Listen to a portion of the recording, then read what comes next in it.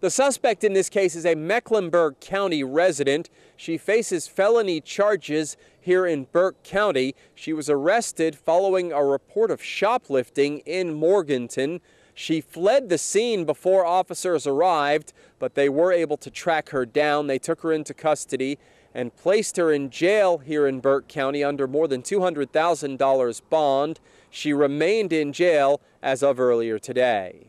31 year old Akitra Denise Green of Charlotte was arrested yesterday by Morganton public safety officers. She's charged with felony counts of larceny and defeating an anti shoplifting device by concealment, along with a misdemeanor count of failure to appear for failure to comply.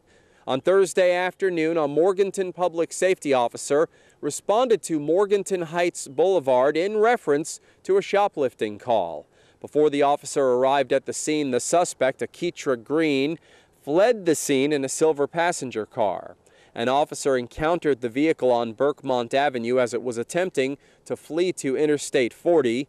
The officer attempted to initiate a traffic stop on the vehicle, which proceeded to the interstate. The vehicle was later stopped and the suspect was taken into custody shortly before 3 p.m. yesterday.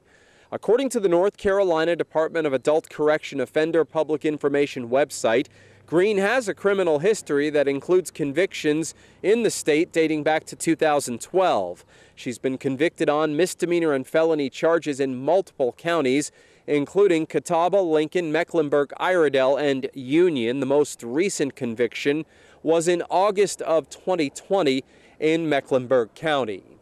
Following Thursday's arrest, Green was incarcerated in the Burke County Jail in Morganton under $225,000 secured bond. She remained in jail as of earlier today, and a district court appearance was scheduled for today. Reporting from Burke County, I'm Rob Eastwood, WHKY News.